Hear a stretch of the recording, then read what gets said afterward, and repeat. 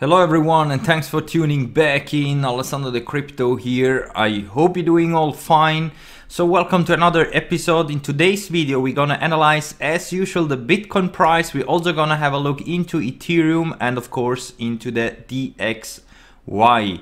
So we're gonna start in the 4 hour time frame congratulations to everyone that yesterday took this long trade here. I got already stopped out. I'm out of my trade and currently I'm looking again to open up new positions but we have some warning sign right now that we could maybe enter into a possible correction so here the four hour time frame is looking still bullish we should bounce here from the 9 moving average and uh, so far we had no close below this important MA. The only problem is that in my own indicator we are getting a sell signal right now. So that means that we could see the momentum now shifting back into bearish and that of course could lead into a drop towards our previous resistance which now could be acting as a new support right here at around $44,000 and this is why I'm still not in a new position right now. I got stopped out with these wicks that we have seen uh, yesterday and uh, that's why I was telling you my friends make sure to lock in profits as soon as we're gonna see here this push to the upside because we still have some warning signs especially in the daily time frame so even though the 4 hour is still looking bullish, we are still trading above the 9 and 20 moving average and we should expect continuation to the upside. There are some warning signs, so if you're still in a long position, make sure to put your stop loss in profits because also in the 3 hour time frame we already have a confirmed sell signal. If you're trading with my indicator over on uh, Discord, you can see that we got here a confirmed sell signal in the 3 hour time frame, but we have right now a 1 hour buy signal. So that means that maybe here in the next coming hours, we first are coming into a possible push again towards the main resistance up here at around $49,300. So this pattern that we are creating here could be a bull flag, another little bull flag that will take us, if we're gonna break out here to the upside, potentially to our target way above 50 k but so far I'm still a bit concerned here that we are not able to push higher here than $49,000 at the time of recording. If we're gonna see a breakout here to the upside and also consolidation above 50k, I'm pretty confident that we will reach our target of around 60,000 dollar so let's see what will happen here in the next coming hours I'm just telling you my friends right now that the four hour time frame is again looking a bit more bearish. As long as we're closing four hour candles above these two important moving averages we should be safe and we should expect here a big bounce to the upside. But if here we're gonna see a four hour close below this important moving average, then be prepared that we could drop again towards here this 44,000, maybe even down towards the 200 moving average here at $36,500. This is still in the cards, my friends. So be careful if you're sitting in a high leveraged long position right now. Make sure to lock in profits and always use stop losses. And if we have a look into the Bollinger Bands, you can see that here was the problem that we were not able to close 4 hour candles above the top of the Bollinger Band. So as you can see here, we always got rejected. And as long as we're not able to close 4 hour candles above the Bollinger Bands, we are still squeezing here between this channel of $49,000 and $44,400. So we have to see 4 hour closes above the Bollinger Bands in order to have another big parabolic move like we have seen here with the last pump that we also traded and only when Bitcoin is able to close 4 hour candles above the Bollinger Bands then we always see explosive moves to the upside and we didn't see that yet even though yesterday we had a nice pump but we didn't have this explosive move that could have taken us above 50k. So here in the Bollinger Bands, we still have to wait for a 4 hour close above $49,000. This would indicate that we will see continuation towards our bullish target of around 60,000. And now we can go over into the daily time frame because also here I want to tell you my friends that this is looking a bit bearish in my opinion. We are still a bit overbought and also in my own indicator we could get very soon a sell signal. It's not yet confirmed, it's not yet flashing, but if here we are getting a sell signal, be prepared that the price could come back down here to retest the 9 daily moving average at $43,000. In the worst case even come down to test the 20 daily moving average at $37,800. $800 of course, the more we are staying above here and consolidate above the 9 daily moving average, the less the drop will be if we're gonna get here a sell signal because as long as we're trading up here, these moving averages also rise up day by day. So that's why it is good that we're starting to consolidate here or trade sideways. So the drop, if we're gonna get here a sell signal, wouldn't be that violent. So let's wait and see here what will happen in the next coming days. I think during the weekend, we may be gonna see some some more attempts to break 50k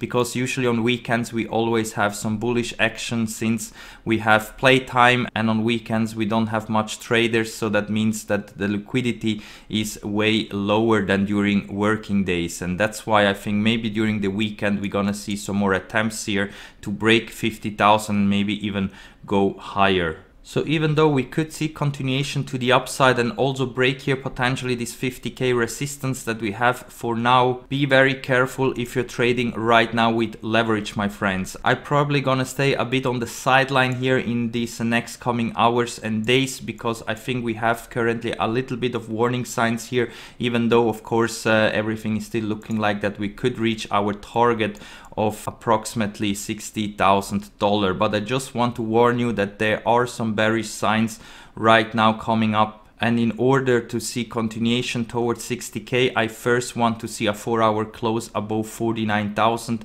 dollars so that would indicate that we're gonna see here a breakout to the upside from this potential bull flag and then continue towards higher levels and another reason why we could potentially top out here and maybe start a bigger correction at least down here towards the 40k area is because the DXY currently is having a bounce right at the 200 moving average in the 4 hour time frame. And this is also what I told you yesterday my friends that if here we're gonna see a short-lived bounce to the upside we may be gonna correct a little bit here in the Bitcoin price before we gear up again for another big explosive move to the upside. And this is what we're seeing right now. The DXY bounced and it looks like that we could see here also follow through. Everything looks like that we could see here continuation at least towards the $91 level and there we're gonna see if the DXY is strong enough to push higher or not because this $91 area where right now the 50 moving average is lining up in the 4 hour is exactly at our important price level of resistance and support.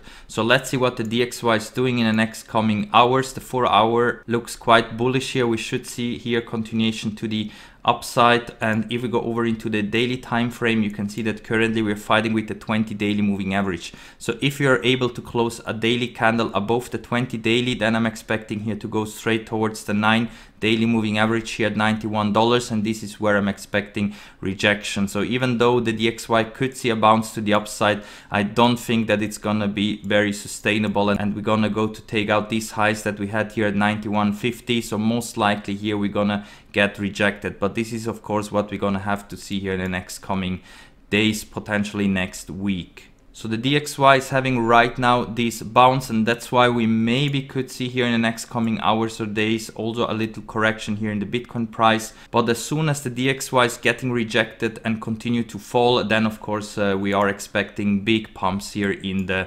Bitcoin price. And now we can go also over into the Ethereum chart because Ethereum is struggling here to pump towards 2k. We are still testing here this previous resistance that now should be acting as a new support here at 1760. We also got here a sell signal in the 4 hour. That could mean that maybe we're gonna come down again to retest the main support at around $1,630. But if Bitcoin is able to push higher now towards 50 and 60,000, then I'm expecting also Ethereum to have here follow through at least to retest here the main resistance at around 2000 at the time of recording. Only if Ethereum is able to break this resistance up here from this green trend line up here, then I'm expecting Ethereum to go way above $2,000 because $2,000 right now is just the resistance that we could have here in case that we're gonna have a big pump to the upside. But if 2000 is getting broken, then maybe we're gonna see huge fireworks to the upside. Same like Bitcoin had once it broke 20k.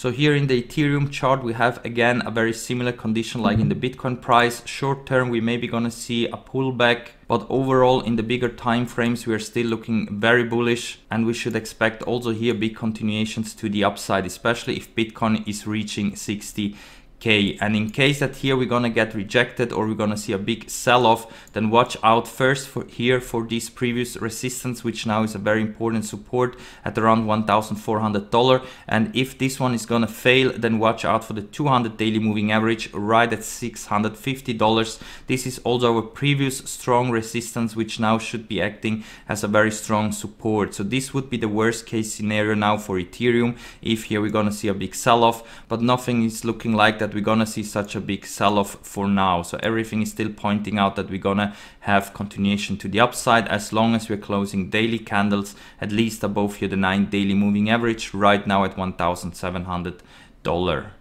So you see my friends, currently we have both a bit bearish and bullish signs. That's why I am standing a bit on the sideline with opening up new trades. But of course, as soon as here we are cooling off again in the 3 hour or 4 hour time frame, I will potentially re-enter with a long position as soon as we are getting again a new good buy signal. And remember, if you want to trade also Bitcoin and Ethereum with leverage, you can do this over on Bybit and Phemex. If you still need an account, then use my referral links down below here in the video description because with my links you support the channel and also you will get some extra money, some extra bonus that you can use for trading. And if you don't want to trade yourself with leverage, but you want to take as much gains as possible when we go up and down, then try out Prime XBT because here we have a special co-vesting feature where you can easily just copy trade other traders. You can sign up with my link down below here, no KYC, nothing, top up some Bitcoin and then just click here on follow on the traders